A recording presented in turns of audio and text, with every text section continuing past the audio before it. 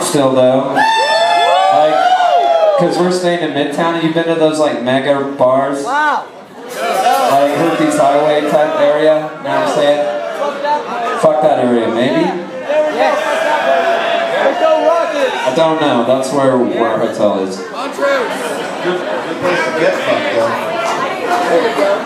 You're right. You can get. Toyota Center. Yeah. Toyota Center. Ener- energy is energy is immune. Energy is always immune from depressions and from all the from the economic ebbs and flows. Energy is always going to be Right. where it's all. That's right. Not in the 80s. I did have a, um, one of my cousins married that one guy from, did I tell you this already last time? It's been a while. Um, they lived in by Rice. Okay, so they, he worked for Standard Oil. He was a lawyer. And, um, he, uh, was pretty nerdy. He tried to write a fight song uh, for Rice. Did I, was that an interview already? He wrote for Rice. He wanted to write a song for Rice. Go Rice. I Go might play Owls, it. baby. Go Owls. But, Yeah, go uh, Owls. there ain't no fight in Rice, I told him. No, there's definitely fight in Rice.